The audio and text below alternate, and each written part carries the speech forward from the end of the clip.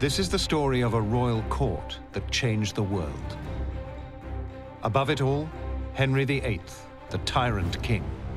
He was brutal, he was ruthless, he was probably the most selfish king we've ever had. A paranoid despot obsessed with treason. This was a reign of terror. He made people very aware of every execution. A religious fanatic who rebels against his church. He believed that what he wanted was what God wanted. To prosper in his shadow takes guile and audacity. But no one is ever safe. You never knew, from one day to the next, whether you'd see the next dawn.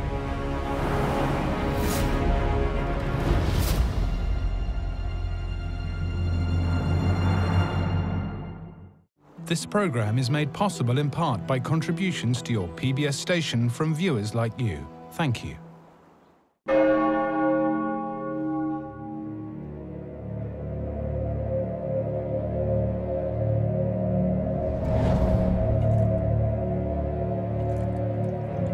They say the smell was the first thing that hit you. The stench from his putrefying sores. This is Henry VIII, King of England, on his deathbed. His body is rotting. His nation bankrupt. His court is ripped apart by factions. His people are living in fear.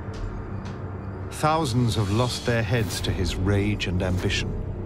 Commoners, courtiers, and queens.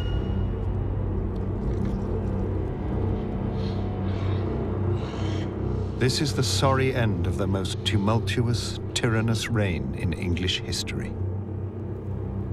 A reign that had looked so promising.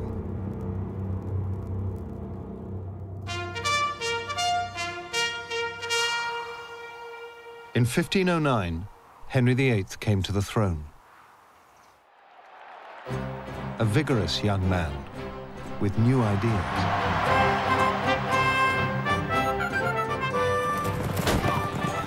Here we have a young prince, learned, clever, interested in music, in the sciences, but also a sportsman who loved spectacle. He loved magnificence. He created this Renaissance court. There was pageantry, there was spectacle. Henry was really the new hope. Similar in a way to uh, when Kennedy became president of the United States. There was hope, there were dreams again for the future. Anything that Henry did was, was golden. Henry's royal court is the centre of power and patronage in England. Prizes to be gained from success at Henry's court were dazzling. You could get titles and estates and money, and above all else, you could get power. In this feudal age, society is rigidly structured. Class was everything at the court of Henry VIII. You were born to greatness. You did not work your way up. The court is dominated by the noble landowning aristocracy. As men of blue blood, they had the ability to be able to advise the king on areas of policy, and it was seen as their right. He may be the monarch, but equally they have a right to advise him and to be his close confidants and advisors. They see Henry as one of their own, effectively a first among equals. But Henry VIII has different ideas. In his mind, he has no equals. He had an ego the size of a truck. For the first time in English history, here is a monarch who insists on them addressing him as no longer sire, it's your majesty. And that's symptomatic of the way his mind worked. He was more magnificent than anybody else around him. Alongside the ego lurks an aggressive insecurity. Henry is dangerous to know. Henry had a natural paranoia. I think it stemmed from that natural insecurity that all of the Tudors had about their rather shaky right to the throne of England. A generation earlier, the aristocracy had been at each other's throats. In a civil war where kings, dukes, lords, and earls tore each other to shreds.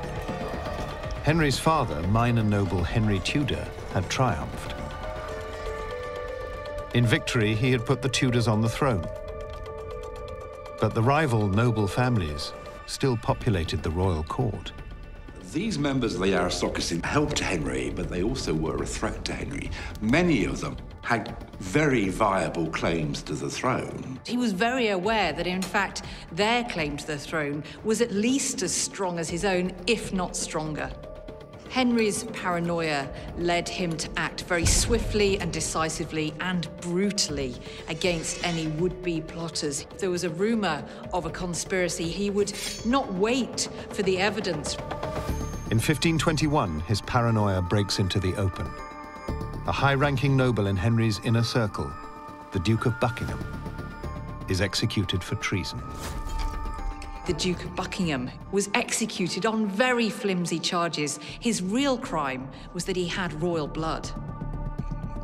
His destruction was a very clear signal sent by Henry that this is what happens uh, if you nurture ambitions to take the throne of England from the Tudors.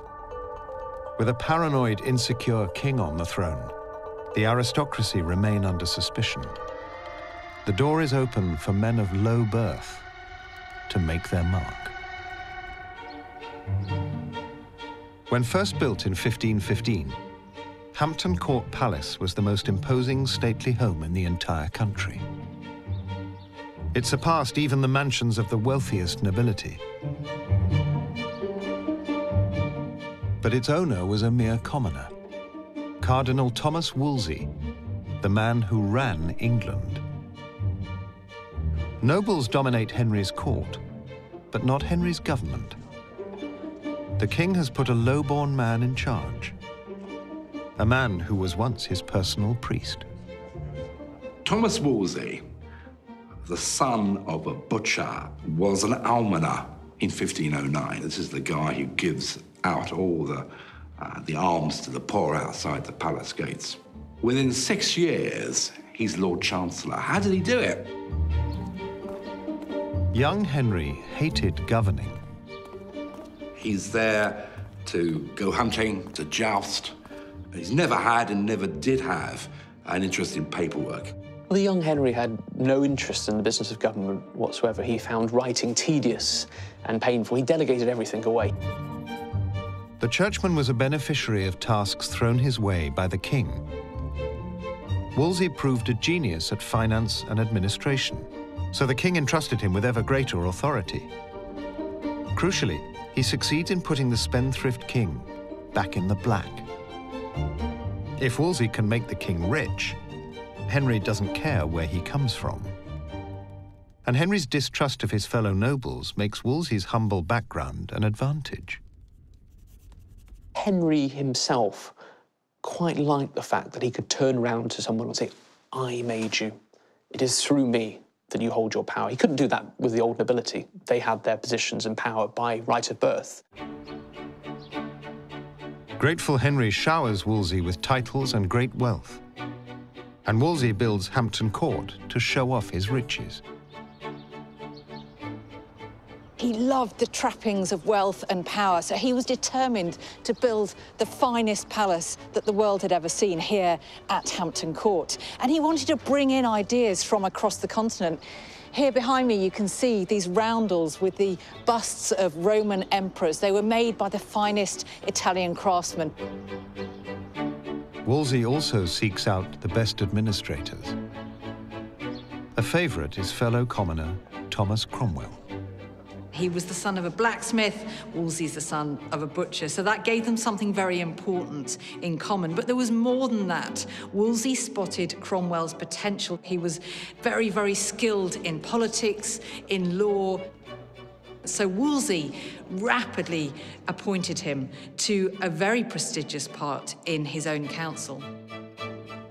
Cromwell will prove a loyal supporter of Wolsey in a court where Wolsey is widely loathed. Chief among Wolsey's enemies is the Duke of Norfolk. Norfolk was from one of the oldest and most distinguished noble families in England. He took no prisoners, and he particularly was obsessed with status. Since time immemorial, the aristocracy of England ran the country. They had all the important jobs. Suddenly, here is the son of an Ipswich butcher having constant access to the king. Who is this upstart, this new man who has come in based on his ability to shuffle papers around, who's doing them out of their traditional role in England? What's more, he's arrogant. Wolsey wasn't at all intimidated by his noble contemporaries. He had quite an irreverent streak to his character, and he, he would often humiliate them in council meetings. He was obviously much cleverer than most of them and didn't flinch from putting them down, proving them wrong. They hated him for that. Norfolk wants to destroy the arrogant priest, but Wolsey always outwits him. He understands Henry better than anyone and knows he will survive if he stays close to his monarch. Even though Henry was quite single minded, he was also susceptible to gossip and to rumour. He would listen to the unfavourable reports of other courtiers. He could be turned against people in that way. For Wolsey's position, it was vital that he had the king's ear. If you were accused of treason, if you could plead for yourself in person, you'd be far more likely to survive.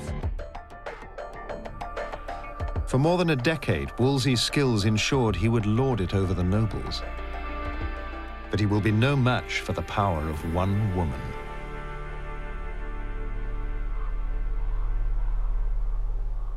This is Hever Castle. In this magnificent manor house, was born a woman for whom Henry would cause chaos in his court and outrage throughout the Christian world. Here she is, Anne Boleyn.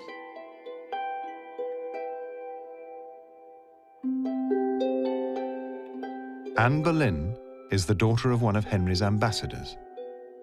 She has spent her formative years in France.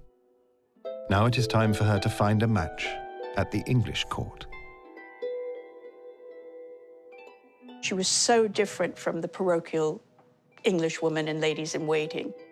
What she had was the it factor. She immediately stood out as this gracious personality who effectively set the court on fire. And that's why Henry immediately picked up on her. The king's attentions are not initially honorable.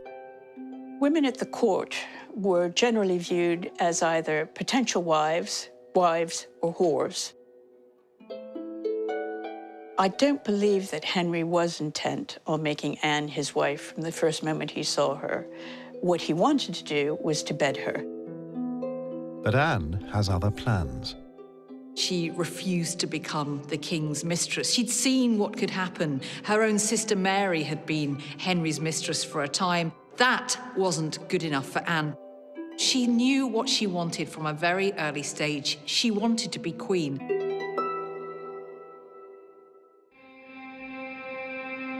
Anne's bold proposal is well timed. For nearly 20 years, Henry has been married to Spanish Princess Catherine of Aragon. But Catherine has failed to conceive a son and is now beyond childbearing age. He needed uh, lusty male heirs to stave off many people who had a much more viable claim to the English throne than the Tudors did. All good kings had sons to take their place when they died, and Henry didn't have a son. And this, is, this became more and more of an issue with him. In Anne, the 35-year-old Henry now sees the perfect solution. He will divorce Catherine and make Anne his younger, more fertile queen. Only the Pope in Rome can grant a divorce. Wolsey is given the task of securing it. This is a challenge for even the master fixer, and he has little respect for the king's impudent mistress. But Wolsey is slow to recognize the danger this love affair poses for his relationship with the king. I'm holding Anne Boleyn's prayer book. In the book, she's written a note to Henry, a love letter, basically, a love note. Henry and Anne constantly wrote love notes to one another during their courtship. And this one says, Remember me when you do pray, that hope doth lead from day to day. She's written this on a page opposite baby Jesus. What Anne is saying to Henry is, I will deliver you of a male heir, which is something that Cardinal Wolsey could never deliver.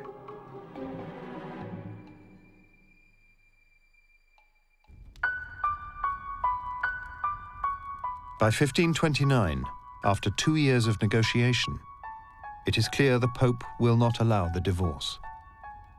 A resentful Anne blames Wolsey. In private, she is heard attempting to turn the king against his counselor. Henry, although he was disappointed by Wolsey's failure to get him the divorce, forgave him. He still liked Wolsey and he trusted his advice. Anne, on the other hand, was the one who was whispering against Wolsey. She was telling Henry that his chief minister had turned traitor. Because of Henry's paranoia, when he heard the worst about someone, he was more liable to believe it. He was very, very capable of changing his mind in the matter of moments about someone who had been high in favour. I think Anne was almost entirely responsible for the fall of Wolsey. Suddenly, Wolsey has lost control. Now Anne has the king's ear. The cardinal is helpless. By having Henry's favour, you have wealth and status which you can accrue astonishingly fast. But if you lose it, you have oblivion. The other nobles who hate Wolsey sense that the kill is about to happen. Without access to the king, Wolsey is in jeopardy. Whisperings of treason now go unchecked. Desperate to regain favour, he gifts his magnificent palace to his king. This coat of arms is proof that Hampton Court was now Henry's, not Wolsey's. It was originally made for Wolsey. You can see an angel there on the right, symbolising the fact he was a cardinal, but then Henry had all of that paint scraped off. It was repainted with the royal coat of arms. But all is in vain. Within weeks, a sickened Wolsey is summoned to trial. A trial that will never happen. On his way to court, disgraced, alone, and impoverished, he dies. The fact that Wolsey had served him faithfully for all these years, that Henry actually liked Wolsey on a personal level, they counted for nothing. Power now rests with the king's vengeful mistress, and in her quest to become queen, nothing will be sacred.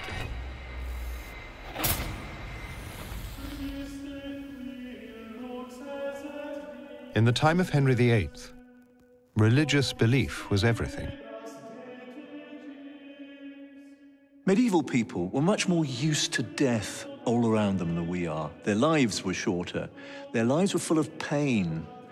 And the church gave them a sense that there was a better world beyond in which the pains of this world would go if they were in heaven and would be infinitely worse if they were in hell. The church was the only institution around which would get you to heaven. Across Christian Europe, kings bowed to the spiritual authority of the Pope. And the monastic orders of the Catholic Church were central to society. This is the Priory Church of St. Bartholomew. It's right in the middle of central London, and it's just a, a, fragment of the beautiful medieval church which existed once. The community of monks here served the poor, they educated children, they looked after the sick. In other words, a church like this would be the center of the community. But by the start of the 16th century, the Catholic Church was widely corrupt. Popes led debauched lives, and if you were rich, salvation could be bought. By the 1520s, worshippers are rebelling. The Protestant Reformation, as it would be called, is sweeping across Europe. The reformers demanding an end to the Pope's control. In England, Henry remained steadfastly loyal. He took his religion seriously. Henry thought he had a special relationship with God, a unique relationship with God, you might say. He believed that the Tudor dynasty were only on the throne because of God's favor. And so Henry, all through his life, wanted to please God. For years, this meant brutally cracking down on the religious reformers. But when Henry fell for Anne, he brought more than a woman into his heart. He brought Protestant rebellion. When heretical books are discovered in her chambers, Henry realizes Anne is no loyal Catholic. Anne learned about the new religion uh, when she was at court in France and was a firm believer in the new evangelical uh, way of teaching religion. Audaciously, Anne seizes the moment. She reveals that reformist ideas hold the solution to the Pope's block on their marriage. The king loved her, and so he listened when she said things about religion which otherwise he might have despised and was said was heretical. It's incredibly explosive that Anne is an evangelical. She is effectively educating the king in the new religion, and that is a crucial point. The heresy that catches Henry's imagination is that the Pope, the man blocking his marriage, is the enemy of God. In Henry's mind, this makes perfect sense. He believed that God shared his plans and desires for his monarchy, for his dynasty, and for his country. He believed that what he wanted was what God wanted. And so if there is something which Henry wanted, like getting rid of one wife and replacing her, it was God's will that that should happen. The evangelicals also make clear where spiritual leadership must lie in the absence of a pope. The pope is the enemy of the church, and therefore the protector of the church should be someone else. And that person could only be the king. To Henry, his mission is now clear he will supplant the Pope in England, ensuring his own succession by taking over the church and granting his own divorce. But even Henry realizes that taking on the Catholic Church directly risks civil war. I think if Henry had decided to go down the route of proclamation, of issuing this edict that suddenly he was going to break from Rome, I think all hell would have been let loose. I think that the population at large, still predominantly Catholic, would not have countenanced the fact that a king could take these decisions without any recourse to the people. The man Henry chooses to resolve his dilemma is Wolsey's old sidekick, Thomas Cromwell. I don't think we can underestimate how extraordinary it was that Cromwell managed to not only survive Wolsey's fall, but thrive in the aftermath. And he did that, I think, because he appealed to Henry VIII. Henry missed Wolsey, and here was another low-born advisor to take his place. Like Anne, Cromwell is sympathetic to the religious reformers. He has no qualms about breaking with Rome and is keen to forge new opportunities for common men like himself. Cromwell's probably the best example in history of a self-made man. He came from nowhere. He was merely the son of a blacksmith, and yet he had the vision to succeed. To help the king, Cromwell hatches a plan that only a commoner would suggest. He will harness people power, putting England on the path to democracy. I'm here in the House of Parliament in London, in Westminster Hall, which is the oldest surviving part of the building, dating back from the 11th century. And it was here the Tudor parliaments would have met all 500, 600 years ago. The purpose of the medieval parliament, quite simply, was to agree to taxation, to allow the king to raise money from his subjects. But with the guidance of Thomas Cromwell, Parliament became a radically different place, a place where effectively modern democracy was born and laws began to matter. Cromwell realizes he can manipulate this tax-raising institution to authorize enormous social change. England would break from the Catholic Church, but it would not be Henry's personal decision. It would be the will of the nation. I'm standing here in what was the original Parliament chamber, where Thomas Cromwell would have presided over a, a rowdy group of MPs packed into this quite small room. Cromwell saw that the King's authority could be far greater if he could ensure that he had common consent, parliamentary consent, to pass legislation. Cromwell disguises the revolutionary nature of the new Act of Supremacy. With legal cunning, he cites dubious ancient documents to support the claim that an English king had always had authority over the church. What was clever about what Thomas Cromwell did was to say that nothing had really changed. The king had always been supreme head of the church, it's just that he'd forgotten about it. Cromwell's deception succeeds. Parliament passes the bill. Henry now controls the English church by the consent of the English people. Cromwell's decision to use Parliament meant that Parliament suddenly became far more important than it ever done before. That suddenly people saw the principle that representatives of the common man, of, of the, the nation at large, should have a greater stake in making decisions on behalf of their country. This political principle is of no interest to Henry. Just as he cares not for the finer points of Protestantism. All he cares is that now he has the power to grant his own divorce and marry Anne Boleyn. Henry didn't go into the Reformation intending to give up the Catholic religion whatsoever. He did it because he wanted something, and he wanted a divorce, he wanted a male heir, and he wanted that supremacy that Cromwell would offer him. For many Englishmen, following their king in a break from Rome is harder to accept.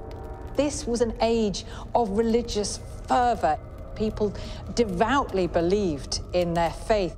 So to potentially give up your chance of the afterlife in order to swear allegiance to your king would have presented just a terrible conundrum. For Henry, there can be no conundrum. You are either with him or against him. The king now makes it treason to question either his supremacy over the church or the legitimacy of his new marriage. The punishment is death. Henry's new treason law was reflected in the very architecture of his new Great Hall at Hampton Court Palace. Up in the eaves, you see these little figures dotted all over the ceiling. They're called eavesdroppers because they were literally in the eaves of the roof. They were there for a very specific purpose. Henry wanted the courtiers down below to know that everything they said was overheard. All those who resist are ruthlessly executed. Bishops, courtiers, friends, it makes no difference. The paranoid king takes no prisoners. I think it very soon became apparent that this was a reign of terror. He made people very aware of every execution, so it created this atmosphere of fear and of paranoia amongst his subjects. Resistant churchmen could expect the worst punishments. The buildings behind me were once one of the greatest monasteries of Tudor London, the Charterhouse. Now, the monks of the Charterhouse mostly refused to accept this royal supremacy of Henry VIII, and Henry was ruthless with them. He hanged, drew, and quartered some of them, and he left some of them to starve to death in prison. It didn't matter they were holy men, he wanted to punish them. Henry would take no resistance at all to what he was doing. As far as he was concerned, anyone who was an enemy of his reforms was an enemy of God. The break from Rome has more material consequences. Monasteries occupy one-sixth of the land in England. Now Henry is their new landlord. Cromwell sees an opportunity for furthering reform and pleasing his master by breaking them up and selling them off. The dissolution of the monasteries was Cromwell's brainchild. He was genuinely pious. He was concerned about all the rumours of corruption that was said to be rife in the monasteries across the country. There was a need for some reform, but it's almost certainly hard cash is the driver here. Uh, Henry was in the need for money, and here was the opportunity for the greatest single piece of privatization in the history of governance ready and ripe for plucking. One by one, the monasteries are closed, looted, and their grounds auctioned off. Henry grows immensely rich. But Cromwell and his fellow common men also benefit. Henry made a killing out of selling lands not to the nobility, but to the merchants, new made men, traditionally men who would have no access to buy land. Now they did and they bought land in spades. They bought huge estates and ensured that they themselves became a new middle class for England. Ancient monasteries lie in ruins, and self-made common men are gaining land and influence. Norfolk and the feudal nobles are powerless, as under Cromwell's direction, everything they stand for is getting ripped apart. A radical alliance now holds power at court. Anne and Cromwell, the king's evangelical lover and the king's reforming commoner. But in revolutionary times, no one is safe.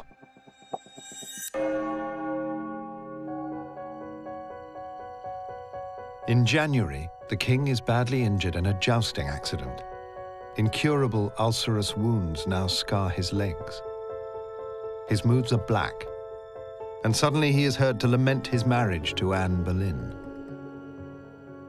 Anne was completely in control of the king. She was mistress of everything, mistress of all she surveyed. Anne's primary loss of influence with Henry is down to not being able to deliver a male heir. Anne has just suffered her latest miscarriage. After three years of marriage, she has borne him one daughter but no son.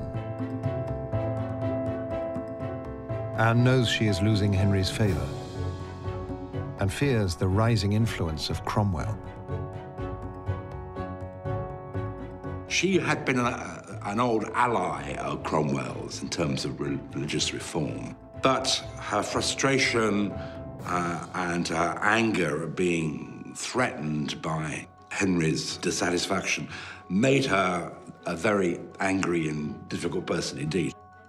Anne herself had told Cromwell she wanted to see his head off his shoulders. He knew that she was gunning for him, and he also knew that despite everything, she still had a hold over the king. She had this knack of winning Henry back, and so Cromwell could not rely on anything. He would have been very afraid. Knowing what happened to Wolsey, Cromwell takes extreme measures. He turns on Anne before she can turn on him. Arrest warrants are issued. Five courtiers are seized, including Anne's own brother. They are imprisoned in the king's dread fortress, the Tower of London. Their charge is adultery with the Queen of England. Anne's detention soon follows. This is a royal sex scandal with explosive implications. These were the very steps that Anne would have climbed as she entered the Tower of London through Traitor's Gate. This is where all of Henry's prisoners would have first encountered the tower. What she must have been feeling can only be imagined. Just hours before, she'd been celebrating the May Day tournament at the side of the king. Her arrest came as a complete shock, and here she was now, accused of treason. Days later, Anne Boleyn is heading for the scaffold. The accused courtiers have already been executed. Cromwell has set her up. Her husband, Henry, is nowhere to be seen. The prosecution evidence was entirely trumped up. It was very, very weak. Everybody knew it was weak, but by the same token, everybody knew that it was Henry's will. For Henry, the charges against Anne are convenient. He is already courting one of Anne's handmaidens, Jane Seymour. To him, Anne is already dead. On the 19th of May, 1536, Anne Boleyn is beheaded.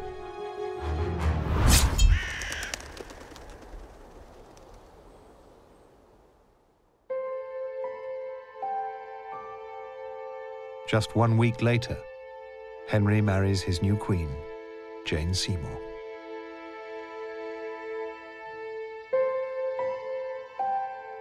Henry VIII wanted to erase all trace of Anne Boleyn after her fall. He couldn't bear to hear her name mentioned at court, and he even instructed the royal carpenters to take down her initials from the Great Hall here in Hampton Court.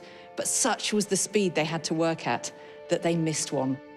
Here in the centre panel, you can see Anne's initials intertwined with those of her estranged husband. Anne Boleyn is history. Now Cromwell's position is unchallenged. The way that Cromwell helped to secure Anne's downfall says an awful lot about his methods at court, just how ruthless he was, because he didn't just bring down Anne, he brought down five arguably innocent men with her, and it was no coincidence that those men were Cromwell's enemies. The king's loyal commoner and ardent reformer is now the dominant figure in government. But in Henry's court, your days are always numbered.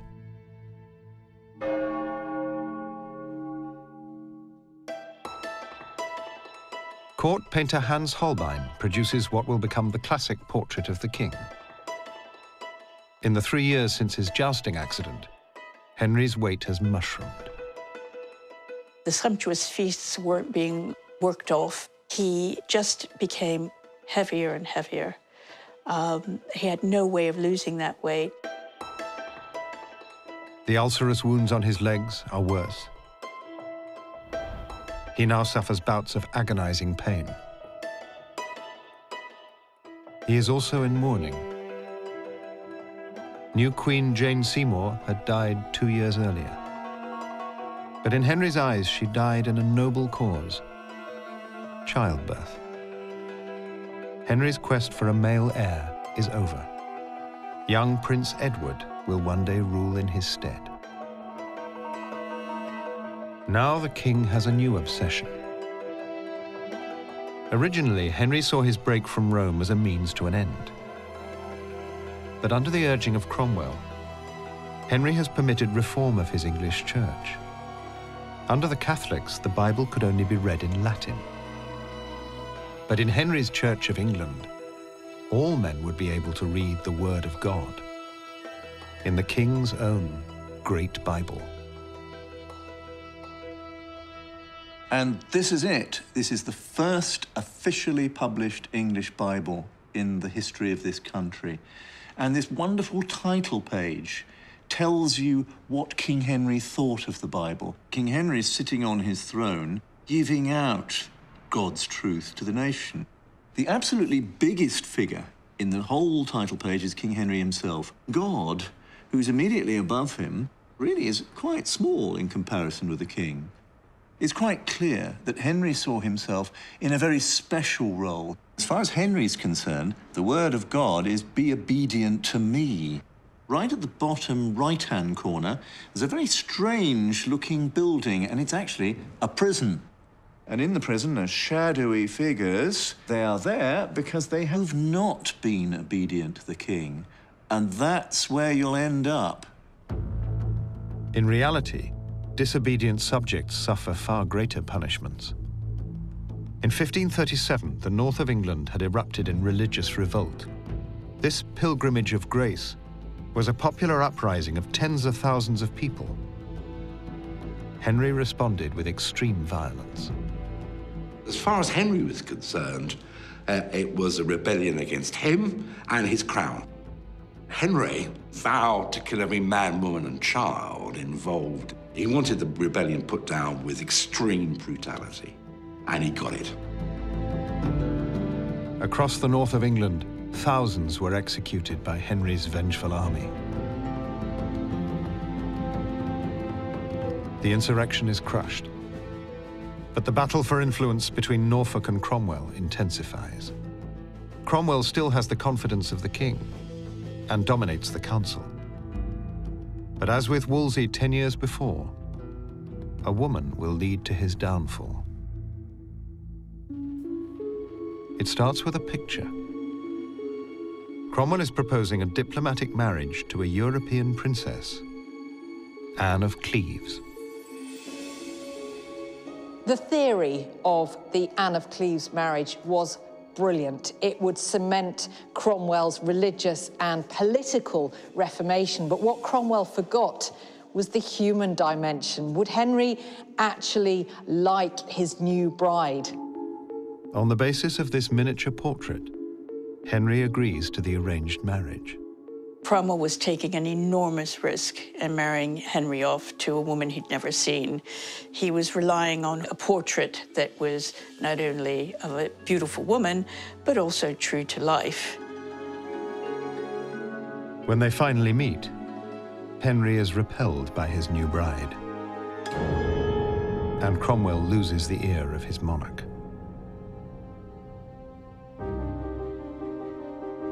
The Duke of Norfolk takes full advantage of his rival's weakness and seizes his chance to play his hand. Norfolk is planning to place one of his nieces in the royal bed. Catherine Howard, something of an airhead bimbo, who he tells Henry is as pure as the driven snow. Here is a very alluring alternative to the bride whom Henry is revolted by. Catherine Howard, she's young, she's vivacious, but she's the niece of the Duke of Norfolk, Cromwell's enemy. Cromwell is outsmarted. The king starts divorce proceedings, making ready for a new marriage.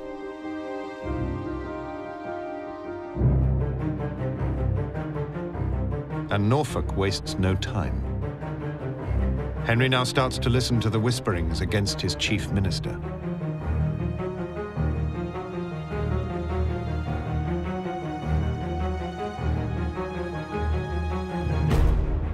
Within a few months, 10 years of faithful service are undermined. The slow drip of innuendo switches the loyalties of the paranoid king. On the 10th of June 1540, Cromwell arrives at a council meeting and is ambushed. He is arrested for treason.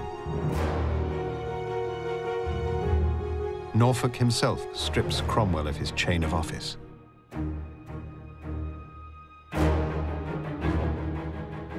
As far as Norfolk is concerned, this is personal. All his resentments, all his frustrations, all his slights he suffered at the hands of Thomas Cromwell down the years, he has now paid back with interest. Because the upstart has been put in his proper place in a cell in the Tower of London.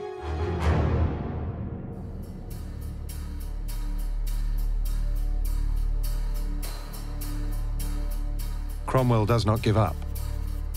He writes to the king from his cell, pleading for forgiveness in a last-ditch attempt to save himself. Those letters do make Henry pause for thought. He asks for that one particular letter where Cromwell pleads for mercy, mercy, mercy, to be read to him not once, but three times. It looks like the king is going to change his mind. But there is no mercy for the great reformer on the 28th of July 1540, after a decade in power, the self-made man is unmade.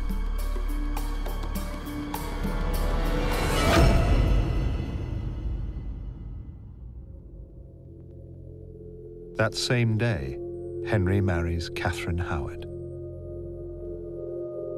The aristocracy are back in charge.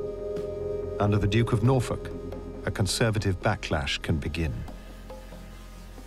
But ahead lies only chaos.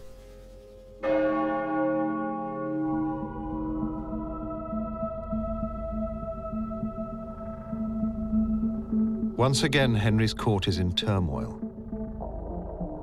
Love letters are found, proving new Queen Catherine Howard is an adulteress. She was a silly, silly girl, and unlike Anne, was definitely guilty of adultery. Henry is unforgiving of her betrayal. But his wrath will spread well beyond Catherine and her lovers. Tainted by her treachery, many of her family fall under the axe. But her uncle, the Duke of Norfolk, survives. He is saved, as he is vital to the king's new passion. Henry needs him because he hasn't got too many experienced generals to call upon. And uh, there is the distant trumpet of military glory still sounding in uh, Henry's ears. The 1540s are dominated by war against France. Henry wants to recapture French lands once owned by the English nobility. He's already spent a fortune on military fortifications. This is Southsea Castle, one of a string of artillery forts which Henry VIII built to defend his realm from attack along the south coast of England. He paid for this massive construction program from money earned or looted from the dissolution of the monasteries. War is an outlet for Henry's aggression. Norfolk and his fellow nobles approve of the belligerent policy. There are now no wiser minds to stand in their way. I think there can be no doubt that if Cromwell had survived, or indeed if Wolsey had, we would not have been at war with France. They were always far too cautious, far too frugal to forward or to advance a policy of aggression. At huge expense, Henry launches multiple invasions. But early success is followed by setbacks. By mid-1545, the French are invading England. On Thursday, 19th of July, 1545, Henry was standing uh, on this very spot, or very near it, and looking across to the Isle of Wight, and he could see Francis I's invasion fleet. 225 ships, 20 or 30,000 soldiers. It looked like a forest had suddenly appeared on the surface of the sea. It was threatening, it was terrifying. Henry now witnesses a military disaster. As his fleet prepares for battle, his flagship, the Mary Rose, sinks right in front of him. The sinking of the Mary Rose really symbolizes uh, the failure of Henry's quest for military glory. Uh, he had spent hundreds of millions of dollars in modern day terms fighting the French and achieving very little. Uh, he had bankrupted the country, devalued the coinage, caused rampant inflation for nothing. And now his flagship was 40 feet deep under the Solent. The war ends in stalemate, but England's coffers are empty. Henry's dreams of glory are over. Now his court will suffer the tyrant's displeasure. Henry's behavior becomes more erratic. He is somebody who becomes more unpredictable. And there's a fear at court about what the monarch might do. You know, if you caught him on the wrong day, you might suddenly face Henry's wrath.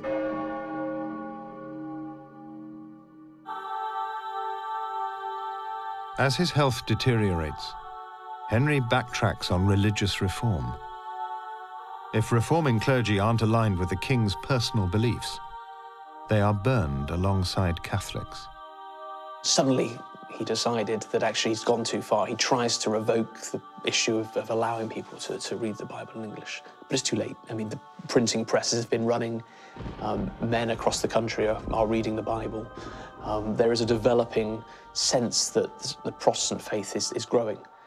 And Henry himself, having let the genie out of the bottle, can't put it back in again. The religious divide now redefines the ruthless politics of the court.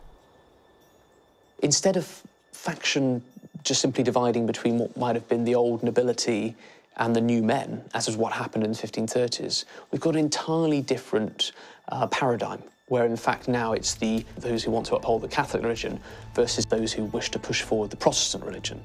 And those two factions are constantly trying to find a way of bringing each faction down in the eyes of the king. In July, the conflict reaches right to the heart of the palace. A woman begs for her life in front of the ailing king. It is his new wife, his sixth queen, Catherine Parr. The queen stands accused of heresy.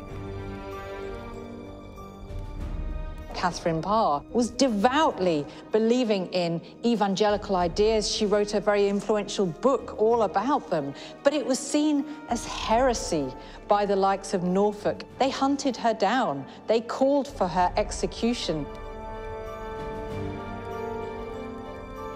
The pitiless monarch will decide her fate. This intimate entreaty is her only hope access to the king was even more important now. It was literally the only way you could survive if you'd been accused of heresy or of treason. She pleaded for her life with her husband. She reminded him in person of her loyalty to him. She threw herself on her husband's mercy. Catherine is lucky. Her pleading satisfies her vengeful husband. That winter is coming. As Henry's festering wounds worsen, his moods are more unstable.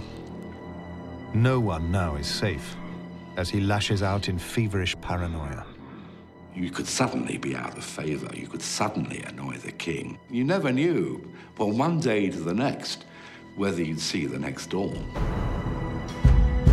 In December, it is the turn of Norfolk's family. He is arrested his son executed.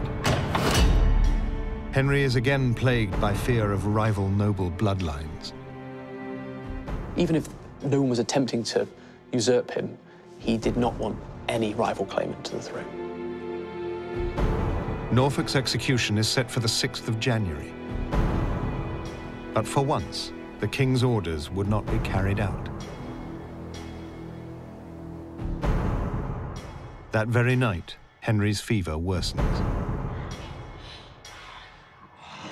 It is said that as he fades, the king who destroyed the Catholic Church in England clutches at his Catholic rosary, and Henry VIII breathes his last. The tyrant is dead. Henry would be remembered, but not for the reasons he'd hoped. The Tudor line he was so anxious to legitimize would last less than a hundred years. But the social changes he set in motion would transform the nation. Was Henry Tudor a good king? Uh, no. He was brutal, he was ruthless, uh, and he only acted in the pursuance of his own personal objectives. He was probably the most selfish king uh, we've ever had, and we've had a few. But he made his mark. Henry's reign saw a transformation in every single aspect of English life, from religion to politics to the way in which the government was run. Did he intend any of this? I think he didn't. I think it started and ended with his human desire for a wife who would give him a son. Without Henry VIII's actions, the USA would not be there in the form we know, because Tudor England gave birth to the English Protestant Reformation. And it was English Protestants who created the North American colonies. They also took the idea of parliaments with them, the parliament which Thomas Cromwell had made so important. You can't imagine the United States of America without Henry VIII. Henry's reign marks the end of when hereditary rights were all that mattered. Suddenly, you have self-made men who get to where they want to be simply on their ability alone. The development of Parliament uh, allowed for a new society, a new society in which men, regardless of their birth, could succeed in life. Henry's reign effectively marks the end of the medieval period and the birth of the modern world.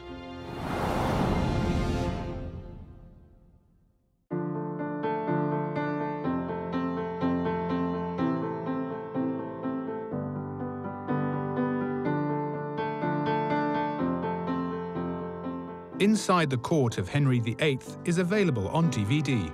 To order, visit shoppbs.org or call 1 800 PLAY PBS. This program is also available on iTunes.